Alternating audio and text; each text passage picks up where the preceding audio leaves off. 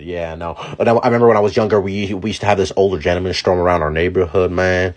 And um, I think he was um, I think he was probably of uh, of uh, of Japanese descent, and uh, he was quite fragile too. Quite brittle, especially in the winter months. He looked like it was um, looked like he was one paper cut away from uh, ending up in the ICU, dude. No word of a lie, man. Um, but yeah, this on this one time I was with my couple my buddies, and um, he he walks uh he walks up close to us, and he had a milk carton in his hand, the one with uh the one with those like missing children on it. It looks back and uh, and points right at the child and is like, um, "You're next."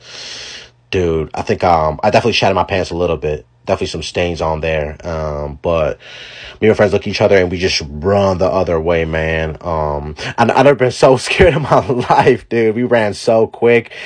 Um, I think we just all afraid of, of being touched, dude. Cause uh, it was a pretty regular occurrence in our neighborhood, man.